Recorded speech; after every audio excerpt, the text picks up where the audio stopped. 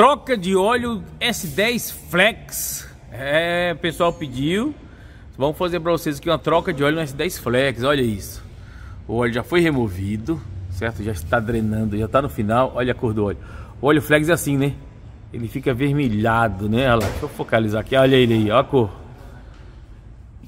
E aqui, um cheiro de álcool, né? Cheiro de cana. Aquele cheiro... Olha isso.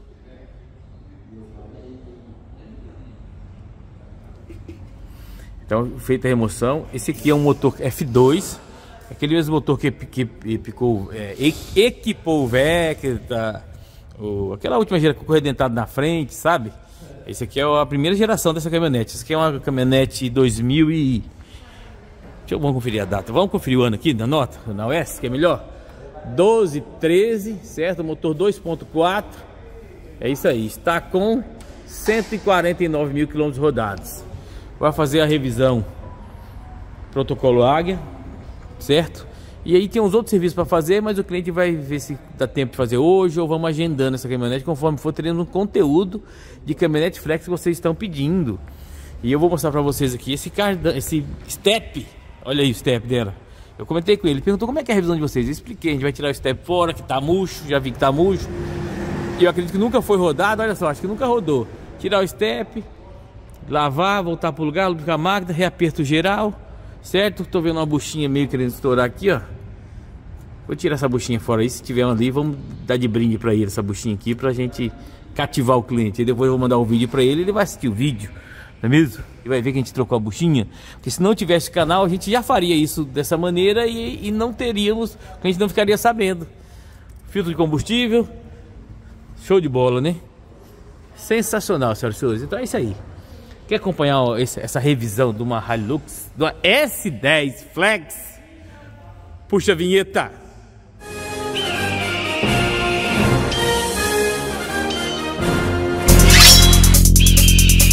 Senhoras e senhores, saudações! Come to, come Aqui quem vos fala é o Netão, falamos direto da Águia Automecânica 4x4 de Sinop, do Mato Grosso e vamos começar mais um BDA 4x4. BDA, o seu canal de caminhonetes classe A, sim, o seu canal preferido, o seu canal número 1. Um. Assista um vídeo e fique fã. Como que você não pode ficar fã? Vocês ficam fazem pedidos nos comentários, Netão, Netão, vídeo de Redux de caminhonete flex, é bom, é bom, é boa. Olha aí, S10, geração Pitbull que chama, não é isso? Qual que é o S10 aí, 2012 de Essa como é flex, não tem aquele problema do motor a diesel de peça, do 12, 13, dos 180 cavalos. Neste vídeo aqui você vai entender do que eu estou falando do motor a diesel da S10 Flex. A da S10 do motor a diesel da S10 Flex. Nossa, agora você se complicou, hein? Do motor a diesel da S10 2012 de 180 cavalos. Tranquilo? A Flex, normal, gente. Eu, como eu falei na introdução do vídeo, é o motor do, do Monza. Do, começou no Monza. Ótimo motor, não estou denegrindo a, o motor. No Vectra, nos, nos Ômegas, enfim. Ótimo motor. Família 2, famoso F2 da Chevrolet. É ele que está aí. É ele que está ali. Certo? Com algum upgrade, alguma coisa, algum acerto para colocar na caminhonete. Aí, se eu não me engano, 2017, 2016 começou o 2.5 Ecotec, que aí é a nave, 205 cavalos e tudo. Fizeram alguma lambança pelo barulho ali, alguma coisa caiu ali, tem alguém envolvido. vocês viram ali, né? Eu não vi. Vocês viram aí, vocês falam no comentário quem que fez aí, vai lá. Você tava ali só, olha lá. Beleza, senhoras e senhores? Então é isso aí. Um caminhonete excelente. Como eu falei para vocês, problema de caminhonete flex, qualquer toda, qualquer marca, autonomia e, e consumo. Não adianta você se enganar. Caminhonete flex dessa aqui no álcool, que pelo cheiro do óleo deve estar andando bastante com álcool, deve estar fazendo na, na média de 4,5 a 6 para baixo. Eu diria entre 4,5 e 6 na cidade. Na estrada, na estrada 7, 7,5 talvez. Beleza? Gostou? Eu tô com boné Chevrolet, tô, né? Deixa eu ver. Vamos lá conferir a caminhonete? Certamente que sim. E essa caminhonete ela é branca 12 13 e está descascando a pintura. Quando baixar vou mostrar para vocês. Aí o cliente nos, nos contou aqui Ele foi na Chevrolet. Parabéns, Chevrolet. Está dando garantia, uma caminhonete 1213, ou seja, está com praticamente 11 anos de uso. E a Chevrolet deu garantia da pintura. Deu garantia. O milionário. Fala que dia que eles vão pintar a caminhonete? 2026. Eu não acreditei. Tá aqui o milionário de testemunha, porque se a gente fala, se eu falar no vídeo, vão falar que não é milionário. Agendaram a pintura dessa caminhonete para agosto de 2026. O quê? Parabéns por um lado e nota zero por outro. Será? Isso mesmo que vocês ouviram. Será pintado em 2026. Como? Eu vou mostrar depois a pintura e falo mais sobre isso. Aqui a gente vai entregar o protocolo Águia de, de, de revisão. Vocês estão vendo ali, o melhor já está trocando filtro de lubrificante. O óleo lá, como eu mostrei para vocês no começo do vídeo, olha que cor que ele sai. Eu gosto tanto de ver óleo saindo. Vê só o final aqui, só o pingo, olha aí. É, caminhonete flex é igual veículo baixo, né? Corolla, que a gente troca bastante óleo aqui, que vocês já viram bastante. Enfim, é, o óleo nunca fica preto, né? Nesse caso aí tá um óleo é, um tom melado, vamos dizer assim, um tom de melado. Mas, enfim, show de bola. Vamos acompanhar ali, ó. Escorre bem, certo? Escorre bem. Olha lá, ainda tá com o bujão solto, ó. O bujão ainda tá solto. Vai ficar pingando ali. Porque o milionário tirou aqui para trocar o filtro. Aí depois nós vamos limpar aqui onde escorreu. Onde troca o filtro, vai escorrer ali. A gente vai limpar isso. Fiquem tranquilos. Tudo será feito dentro do protocolo Águia. Cardan será lubrificado com graxa azul. Olha lá. Cardan será lubrificado com graxa azul. E eu falei para vocês da bucha do amortecedor aqui, não falei? Pois é. O milionário depois aqui ele me inteirou do seguinte, eu não tinha percebido, olha aqui, o amortecedor tá estourado, ó. Mas vazou, estourou, gente, não tem jeito. Vazou, estourou. E aqui, ó, a bucha então já é sinal de um amortecedor sem ação. Se não tá estourado, deve estar tá sem ação. Então, não adianta muito colocar uma bucha nova se estiver sem ação, né? Vamos ver se o nível autorizar. A troca de óleo já autorizou. Se ele autorizar, a gente vai falar para ele tudo isso aí. Mas de qualquer maneira, como expliquei para ele, a gente mostra, é, faz essa varredura da caminhonete, vê tudo que precisa fazer. Por exemplo, bucha de jumelo, olha essa aqui, estourada, olha lá. Bucha de jumelo estourada, desse lado aqui também, olha lá. A gente faz uma varredura do que precisa, passa para o cliente e ele decide o que, que ele quer fazer, no, em que momento, de qual maneira, o tempo dele, enfim. Tudo é o cliente que decide, senhoras e senhores. É o, é o famoso menu de serviço do, do protocolo Águia. E aqui a gente está realizando. Tem umas outras coisas que ele pediu para a gente ver, que a gente está checando. Vocês vão acompanhar. Aqui, ó, você vai vai estar tá se posicionando aqui com o coletor de óleo. Até que foi por isso que colocaram aquela vasilha ali, ó. Para você, você que não entendeu por que aquela vasilha estava ali, dentre outros fatores, esse, ó. Vamos tirar o filtro de combustível e como vai escorrer um pouco de combustível, vai soltar dentro do coletor de óleo já. Já fica ali dentro. E para ser destinado para o fim que lhe cabe. Certo? Então estamos aqui junto, agarrado na orelha. E, lembrando, daqui a pouco eu vou mostrar para vocês a pintura e a Chevrolet, dois anos para pintar. É um absurdo. Que já está enferrujando. Vou mostrar para vocês. Aguarde esse vídeo até o final aí, tranquilo? Vamos lá então, vamos, vamos, vamos tirar esse step fora aqui para gente ver como é que ele está.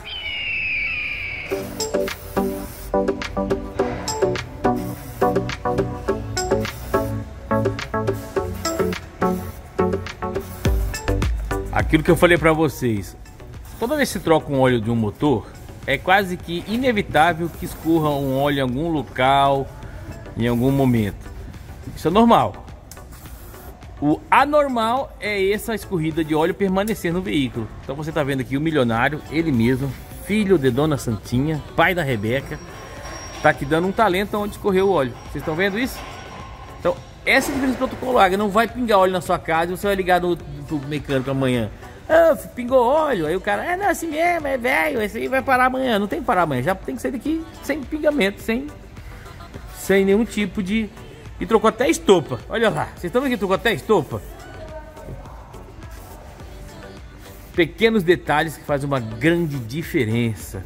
Você não vai tomar vassourada da Rádio Patroa em casa, chegando em casa pingando a caminhonete, você vai tomar umas vassouradas dela, já não vai levar mais. Entendeu? Ela, vai, ela até a Rádio Patroa falou, você não colhe dessa vez, ficou tão bom, não pingou, leva lá de novo, hein? É isso, você vai adiantar o seu lado, hein? Protocolar, é isso aí, promover a união dos casais. É verdade. Aquele diferencial na nossa revisão aqui na Águia Automecânica, remoção do step. Teve inscrito que comentou que nem em loja de pneu, fazendo troca de, dos pneus da caminhonete, trocando os quatro pneus e nunca viu alguém tirar o step fora para conferir a calibragem, limpeza e lubrificação da máquina. Olha lá, olha como que tá esse step. Agora, como eu sempre digo para vocês, agora você imagina você indo para um casamento, você é o padrinho. Uma roupa branca, um sapato branco, a meia branca, até a zorba é branca. E aí você vai tem que trocar o pneu, se deparar com esse step aí, olha lá. Tá até grudado o suporte ali na roda. Olha isso. O pneu tá murcho. Certo, olha lá. Pneu murcho, olha. Até o jeito que ele tá. Tá pneu sem a calibragem correta. E olha isso aí. A gente vai lavar o pneu agora, pôr no lugar, lubrificar, lubrificar a máquina de step e devolver para o veículo, de, como eu falei para o cliente, beleza? No protocolo Águia, aqui ó. Falando nisso, olha a pintura aqui branca. Então aqui é a capota que pegou aqui, beleza. Vou explicar aqui. Até aqui no capu foi o que? Aqui no capu foi o que então?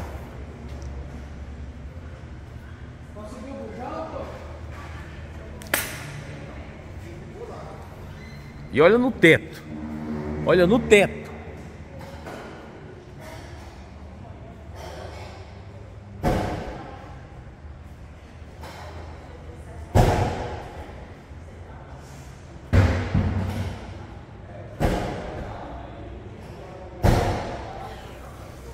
Esse teto aqui, será que aguenta dois anos?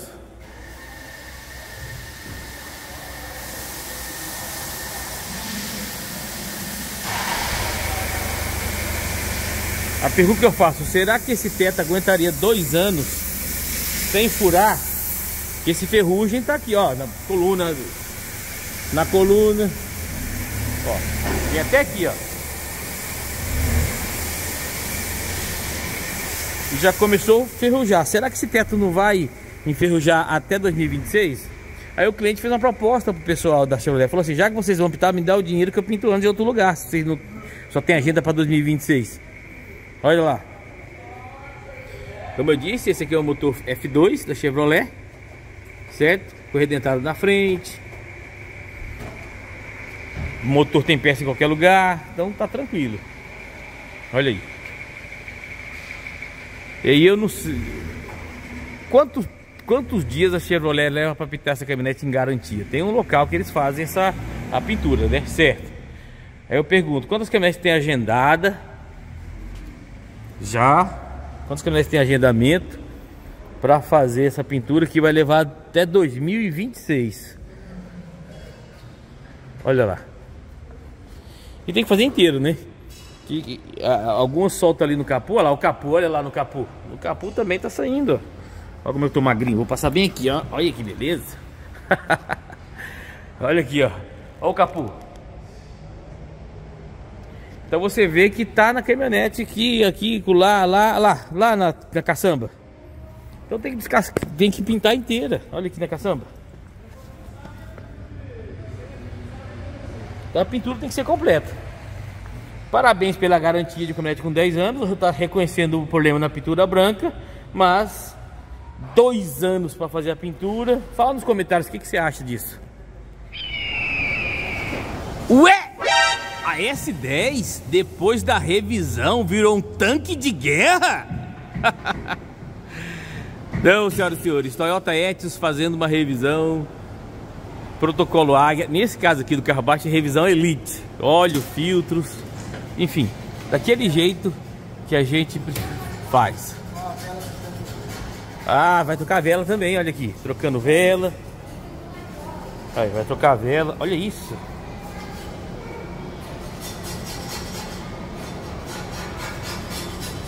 Pelo cheiro do óleo ali,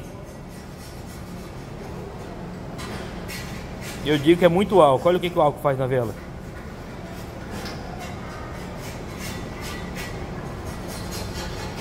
Que aqui, ó, tá vendo esses dois eletrodos aqui? A centelha tem que a faísca, né? Centelha tem que passar por ali. Ela, ela, ela, acontece ali, né? E faz a explosão na câmara de combustão. Mas chega um ponto que fica tão longe que fica com dificuldade de fazer a centelha. Mas vamos lá. Vamos fazer o seguinte. Esse vídeo da S10 eu não peguei o final dela. Correria Santa.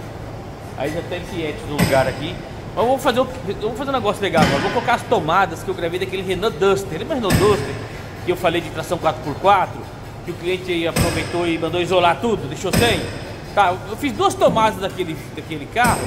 Vou colocar agora e explico na sequência pra gente encerrar esse vídeo desse 10 aqui, beleza? Ô, você que é dono de Etios, gostou dessa entrada aí, né? Virou um tanque de guerra? Gostou? Entendeu, né? Entendeu? O Dimas entendeu, né, Dimas? É, tá bom. Mercier, Palevou, Le Buffet, Torre Eiffel, Eric Jacan, vamos falar francês? Olha o diferencial da Duster, vai.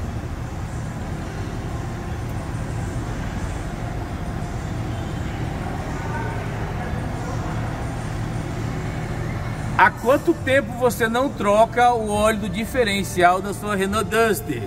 Hã? Pelo menos não tem água, né? Mas tá só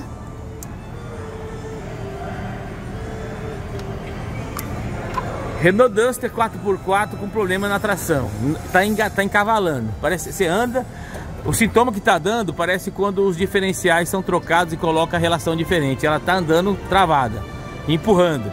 Já ligamos na Renault, afinal de contas nós temos o nosso, o, o meu filho tá trabalhando lá.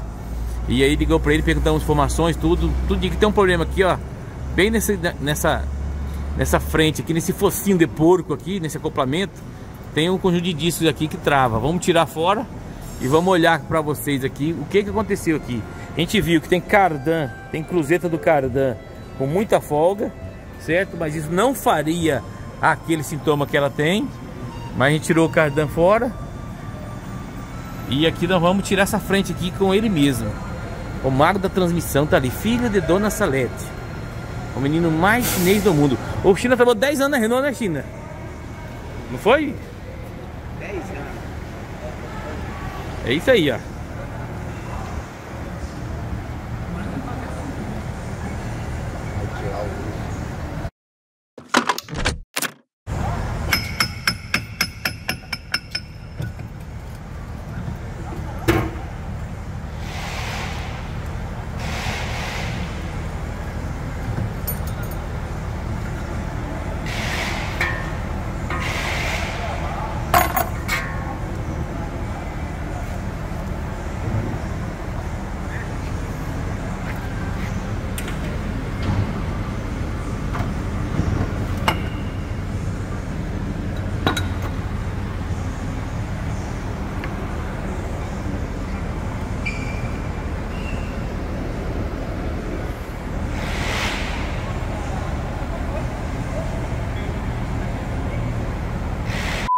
Viram esse caso da Renault Duster aí?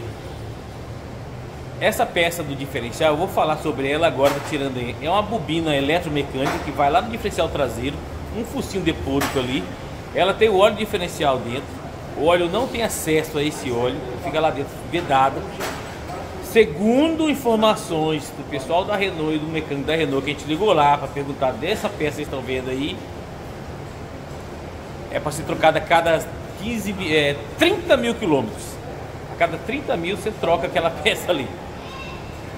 Esse, esse, esse sistema eletromecânico da tração da Duster é 14.800 reais. Essa caminhonete, essa Duster do vídeo, em 2014, eu fui ver a tabela FIP dela, hoje está girando por volta de 50 mil. A FIP não, vi alguns anúncios de internet, 50 mil, 49, 53, 55, 50 mil reais. Uma peça 30% do valor do bem. Aí você fala para mim que manutenção de caminhonete é caro. Você tem certeza?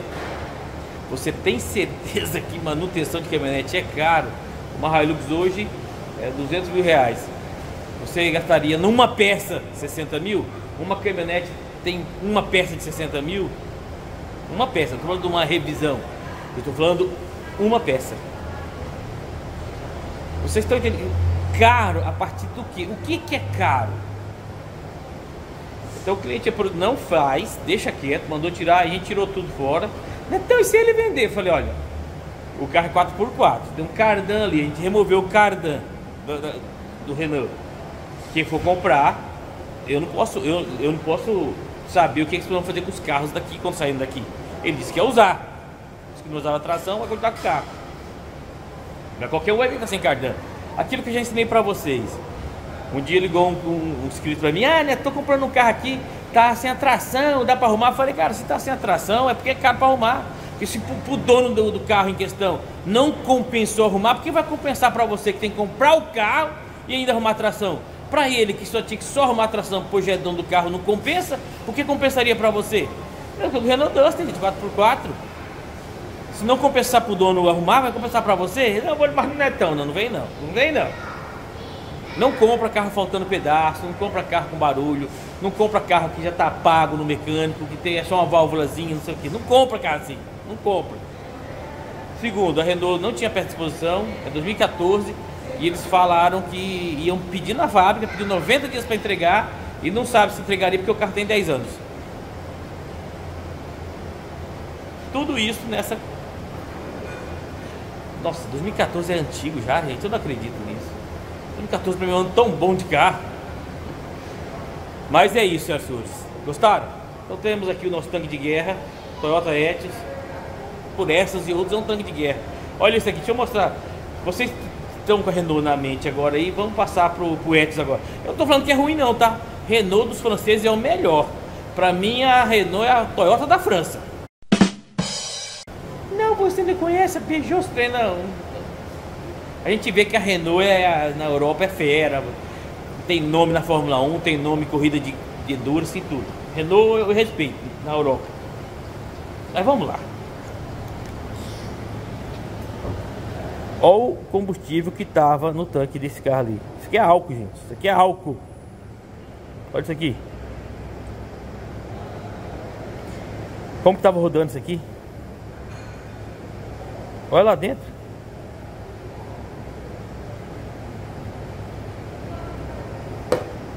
Olha o óleo do câmbio automático.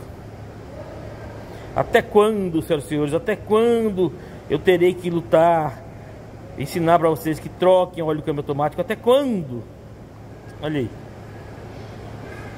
Toyota Etios ali, tanque de guerra. Quer comprar um carro? O que tem de feio, ele tem de bom, meu amigo. O que ele tem de feio, tem de bom. Eu quase comprei um platino, rapaz. 2016, se eu não me engano. Tinha um sedã platino, todo equipadinho, teto solar. Fiz test drive nele, mas não comprei. Quase que eu comprei. Olha. Então é isso, pessoal. Tá aqui, ó. Isso aqui é o filtro de combustível, álcool. Eu falei na, durante a vela ali, né? tá com cheiro de álcool, né? Isso é álcool. É o álcool etanol que tá naquele tanque ali, ou melhor, que tava no filtro. Aquilo que eu falei para vocês, já entramos em contato com o cliente falando da necessidade de fazer uma limpeza de tanque, ó. Veículo a gasolina tem que limpar o tanque também. Se autorizar a limpeza de tanque ali, a gente vou ver se consigo fazer um vídeo. Não vou garantir não, que hoje é sexta, amanhã é sábado, carro parece que vai ser para amanhã. Então talvez não tenhamos um vídeo, beleza? E aqui o óleo do câmbio. Vamos fazer o seguinte, eu vou esperar ver se o cliente vai autorizar fazer limpeza de tanque e aí a gente encerra o vídeo pelo menos mostrando o tanque por dentro, tá? Vamos esperar um pouco então. Daqui a pouco a gente continua. Muito bem, senhoras e senhores, olha isso. Olha o tanque aí, tá limpo, né? Então ali não era sujeira no, no diesel, no, no diesel. Não era sujeira do tanque, é fazia tempo que não se trocava o filtro, teoricamente, né? Aquele filtro daquela cor lá. Olha aí. Como o carro gasolina, você consegue tirar o tanque, a tampa fora aqui, ó. Só tirar, olhar e vamos fazer o seguinte, não vai... Vou, já vou mandar avisar que não precisa limpar o tanque não. Não precisa fazer essa limpeza de tanque não. Só precisa trocar a peneirinha. A senhora falou que a peneirinha tá ruim. A peneirinha tá com problema aqui, ó. Tá lá, suja. Olha aí, ó. Bem, olha lá, aquela cor acinzentada, tá vendo? Então vamos trocar essa, essa só essa peneira aí. Vamos, bom, vamos, vamos, vamos pedir ela, né? Ó, a bancada tá levantada, dando aquele talento na pintura da bancada, beleza? Aqui nos pés aqui, ó. Então tá lá, ó lá, decantou, ó. Que estranho, né? Sujeira, ó o filtro aqui, ó.